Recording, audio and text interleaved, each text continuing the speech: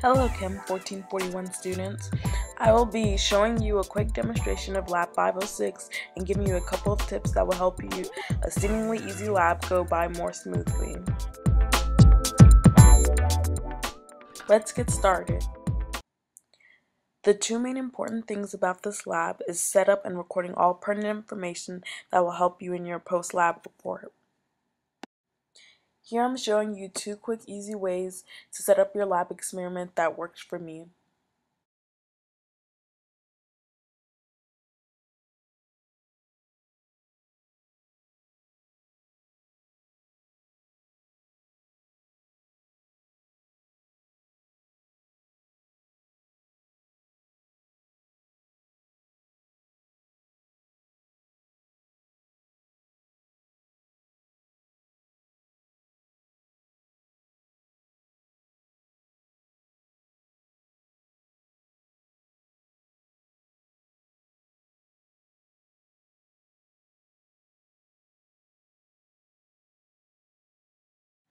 Here I'm putting the magnesium turning into the test tube and securing the stopper onto the test tube.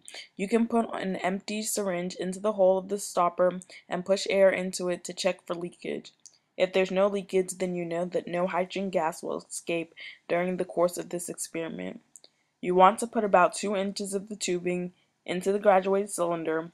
I like to put more to ensure during this course of the experiment the tubing doesn't come out.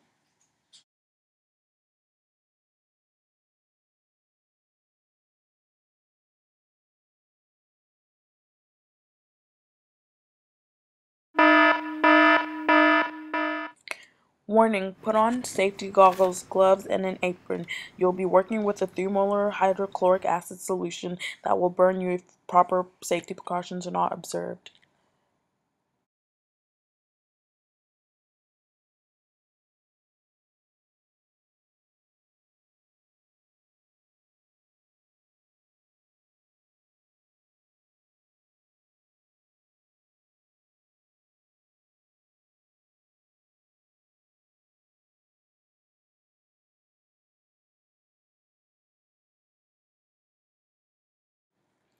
This is the complete setup of your experiment. Be sure to record the initial volume to one significant figure higher than the graduated cylinder offers. Place the thermometer into the plastic bowl and make sure the test tube is in a water bath because the reaction is exothermic and generates heat. You want to push the hydrochloric acid in slowly to reduce the risk of the stopper popping off and give the hydrogen gas time to displace the water in the graduated cylinder. The initial volume should be 0 milliliters if the graduated cylinder is completely filled, but if you're unable to fill it, be sure to have the water start where there are graduation marks for an accurate initial volume.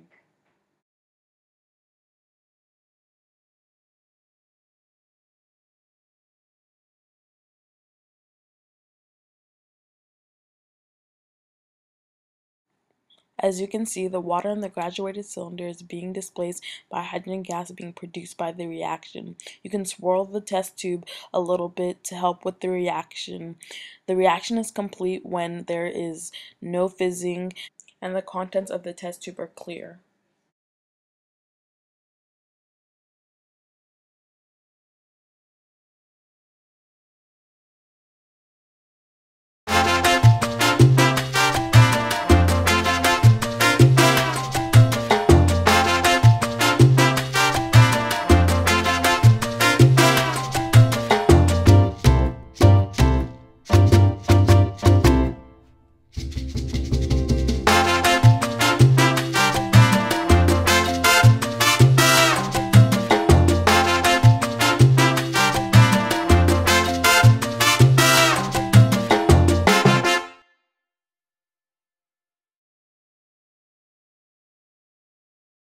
Once the reaction is complete, you want to leave the setup as is and record the final volume.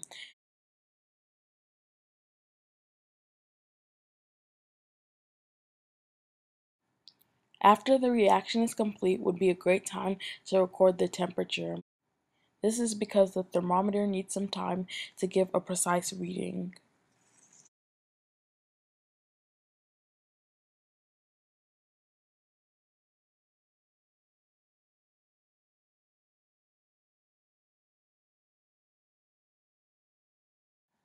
Using centimeters, record the height correction, which is from the top of the water level in the plastic bowl to where the water was displaced in the beaker. You can raise or lower the graduated cylinder in your next trials to equal the same height as the water level in the plastic bowl so that you won't have to do the height correction.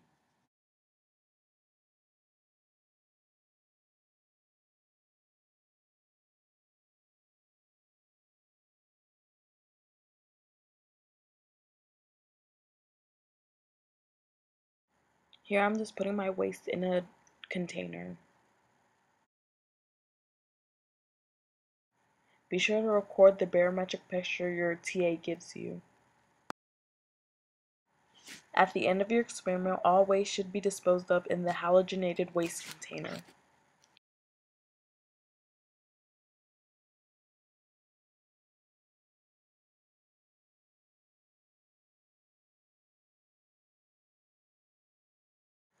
Thanks for watching and have fun.